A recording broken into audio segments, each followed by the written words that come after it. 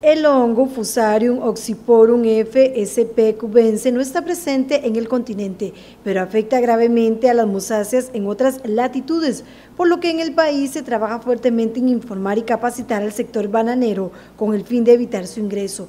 Se trata de un hongo que afecta a las musáceas, familia dentro de la cual está el banano, el plátano y otras variedades, como por ejemplo los bananitos dátil.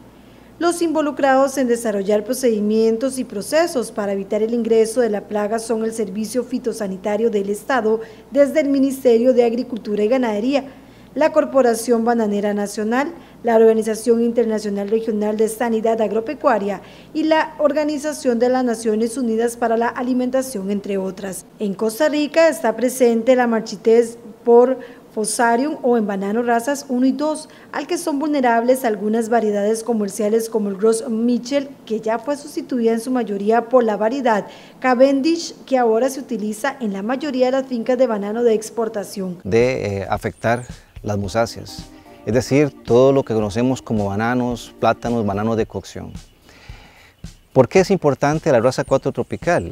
Es importante porque muchas de las variedades que son resistentes a raza 1 y a raza 2 sucumben ante la raza 4 tropical, o sea, son susceptibles a la raza 4 tropical.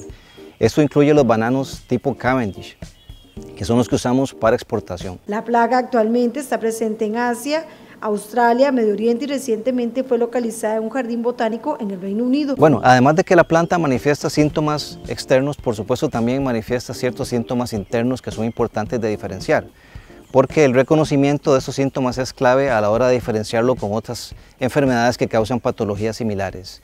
Internamente, cuando uno corta una planta de banano afectada por Fusarium oxysporum cubense, va a encontrar los haces vasculares decolorados se tornan de un color café claro a café rojizo, inclusive casi negro. En esos haces vasculares está el patógeno y están las estructuras del patógeno sobreviviendo.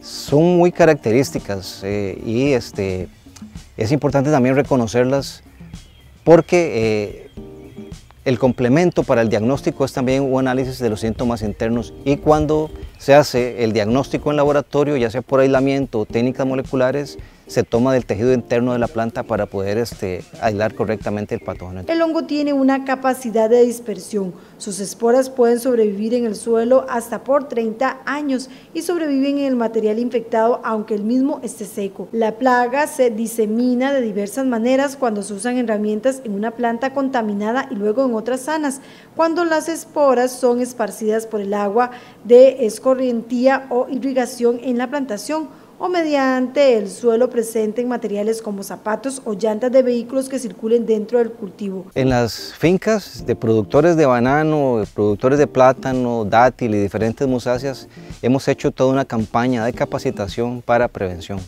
Les hemos explicado a los agricultores, técnicos y profesionales ligados al sector productivo de musáceas en Costa Rica y otras partes del mundo las medidas básicas de prevención que ocupamos implementar de manera efectiva para este, evitar la eh, dispersión y diseminación de una enfermedad como esta. Eso contempla el uso de ropas limpias, el uso de, desinfectantes durante las prácticas de cultivo, el establecimiento de pediluvios en las fincas para desinfección del calzado e inclusive la desinfección de vehículos eh, que ingresan a las plantaciones. Como parte del proceso, Costa Rica actualizó las medidas fitosanitarias de cumplimiento obligatorio para la importación de artículos reglamentados que pueden ser vía de transmisión del hongo.